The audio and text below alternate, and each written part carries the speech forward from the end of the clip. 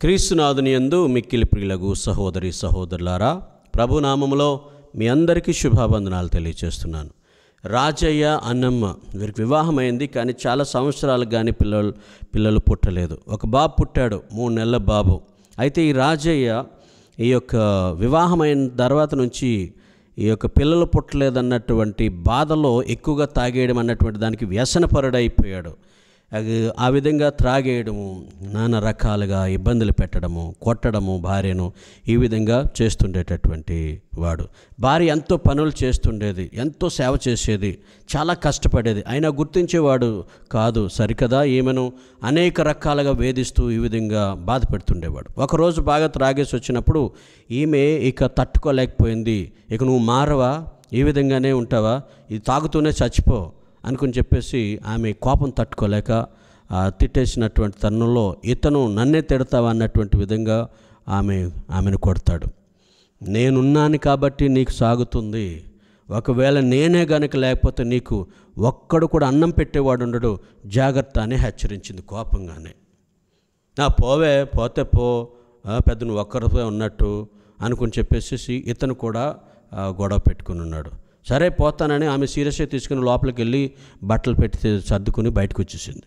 బయటకు వచ్చేసినటువంటి తరుణంలో ఆ పిల్లని కూడా చంక పట్టుకుని వెళ్ళిపోతున్నప్పుడు ఇతను ఆ, కొడుకు నా కొడుకు నా కొడుకు నా దగ్గర వదిలిపెట్టావు. నువ్వు పోతే పో కొడుకుని వదిలిపెట్టాయి అనుకుని చెప్పేసి కమాండ్ చేస్తాడు. అయితే తీసుకొని ఆడి చేతిలో పెట్టేసేసి ఈమె పెట్టెట్టుకుని వాళ్ళ అమ్మాల ఇంటికి వెళ్ళిపోతుంది. అయితే ప్రీ సహోదరి సహోదరులారా ఇటు తాగేసి ఉన్నాడు. ఇక కొడుకు ఏడవడం మొదలుపెట్టాడు. వాడికి పాలు పట్టాలి చిచ్చెళ్ళాడు. వాడికి అన్ని శుభ్రం చేయాలి. వాడి పక్కన పడుకోబెట్టుకోవాలి. ఒకదాని తర్వాత ఒక్కొక్కటి ఒక్కొక్కటి పనులు వచ్చేసరికి వీడికి తాగిన మత్తల్లా దిగిపోయింది. దిగిపోయిన తర్వాత ఇన్ని పనులన్నీ వీడి చేయడం చేత కాదు. ఉదయాన్నే లేచి పాలు పట్టాలి. వాడికి అన్ని బట్టలు వేయాలి. మళ్ళీ డైపర్స్ మార్చాలి. చాలా సేవలు చేయాలి. తాను ఉద్యోగానికే వెళ్తాడా? లేకపోతే ఇదే చేస్తాడా? చాలా ఇబ్బంది పడిపోయాడు. టూ డేస్ ఉండలేకపోయాడు. వెంటనే బాబుని ఎత్తుకుని వాళ్ళ ఆవిడ దగ్గరికి వెళ్ళిపోయాడు. వెళ్ళిపోయి రావే అని అంటున్నాడు. నేను రాను అని అన్నది. లేదు పర్వాలేదు వచ్చేసేయి. తప్పైపోయింది ఏదో తాగుడులో అనేసాను వెళ్ళిపో అని నువ్వు రా అంటే నేను రా నువ్వు తాగుడు మానేస్తే నేను వస్తానని చెప్పింది ఆమె. అప్పుడు నేను మానేస్తానంటే నాకు చాలాసార్లు నువ్వు అలా చెప్పావు. అయినా నేను రాను. అనుకుని చెప్పినప్పుడు నేను రాసిస్తానని చెప్పేసి బాండ్ మీద నేను ఇక ఎప్పుడు నేను త్రాగను నిన్నేమనను అని రాసిచ్చినప్పుడు ఆమె వచ్చింది. ఆమె అంత స్ట్రిక్ట్గా ఉండడానికి కారణం భర్తలో మార్పు తీసుకురావాలన్నటువంటి ఒకే ఒక్క తలంపుతో అంత కఠినంగా వ్యవహరించింది. ప్రి సహోదరి సహోదరులారా కుటుంబాల్లో మన యొక్క అమ్మలు లేదా భార్యలు కనీసం ఐదుగురు చేసేటటువంటి పనిని ఒక్కలే చేస్తారు. అది ఎవరు గుర్తించట్లేదు. వారు చేసేటటువంటి పని కుటుంబ పోషణలో భర్త యొక్క జీవితంలో కావచ్చు పిల్లల యొక్క జీవితంలో కావచ్చు అత్తమామల జీవితంలో కావచ్చు ఒక భార్యగా లేదా ఒక అమ్మగా ఒక వదినిగా ఈ స్త్రీయే అనేక పనులు చేస్తున్నప్పుడు దయచేసి గుర్తించండి. కొంతమంది ఏసడించేస్తారు గుర్తించరు. వాళ్ళకి ఏమి కానట్లు చూస్తారు ఆ యొక్క స్త్రీలను. ఇది చాలా పొరపాటు. ఇది చాలా తప్పు. నీ నిత్య నీ నిత్య అవసరాల కొరకు నీ యొక్క కుటుంబం బాగుపడడానికి కోసము ఉదయం నుంచి రాత్రి పడుకుపోయేదాకా ప్రతి స్త్రీ ప్రతి అమ్మ కష్టపడుతుంది. వాళ్ళని గుర్తించాలి.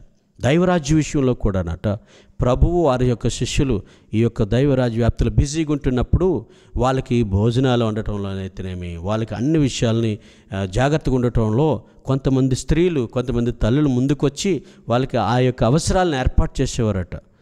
ఈ వాక్యంలో చూస్తున్నాం లోకశుభార్త ఎనిమిదవ అధ్యాయంలో మూడవ వచనం రెండు మూడు నుంచి హెరోదు గృహ నిర్వాహకుడగు కూజా భార్యయగు యోహానమ్మ సుజానమ్మ వారి నిత్యావసరాలకు తోడ్పడుచున్న పెక్కు మంది స్త్రీలను వెంట వచ్చిరి. చూచారా?